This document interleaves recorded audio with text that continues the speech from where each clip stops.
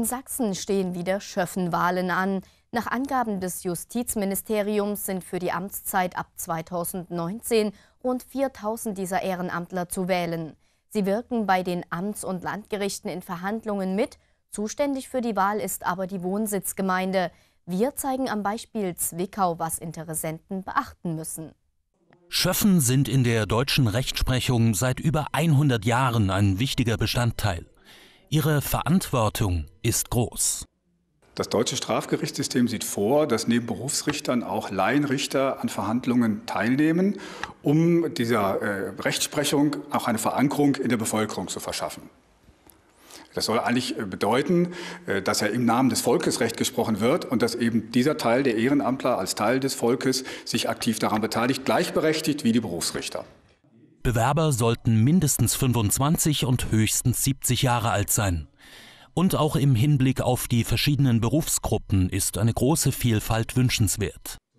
Also der Idealfall ist der, der sich nicht für einen juristisch Vorgebildeten hält, der, sondern der mit seiner ganzen Lebens-, Familien-, Berufs- und auch vielleicht privaten Erfahrung versucht dort einzubringen, weil die Palette an, äh, auch an Verhandlungen mit, mit, mit, mit äh, vielen Lebensläufen von Betroffenen ist so breit, dass eigentlich äh, gar keine Spezialisten dafür vorhanden sein können.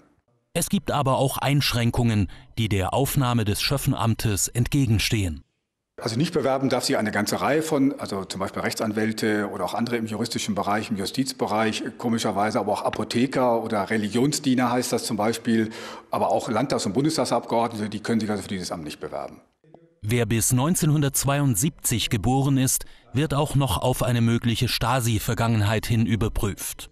Ist der Bewerber sauber, so kann er Schöffe werden. Eine Amtszeit beträgt fünf Jahre, manche bleiben aber auch viel länger dabei. Es gibt mittlerweile keine Grenze mehr. Früher war nach zwei fortlaufenden Amtszeiten Schluss. Das ist geändert worden. Man kann also jetzt auch eine dritte Amtszeit machen oder eine vierte, bis man die Altersgrenze von 70 Jahren erreicht hat.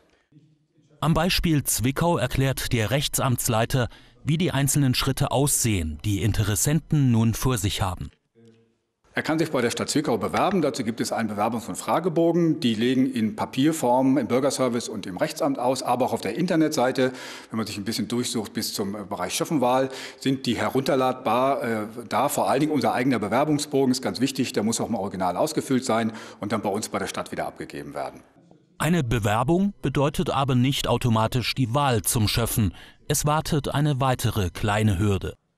Wenn sich die Kandidaten bei uns beworben haben, müssen wir für den Stadtrat eine schriftliche Vorschlagsliste erstellen, die spätestens im Juni im Stadtrat beschlossen sein muss. Wir müssen zur Jahresmitte diese beschlossene Vorschlagsliste ans Amtsgericht zur weiteren Wahl der Schöffen dann abgeben können.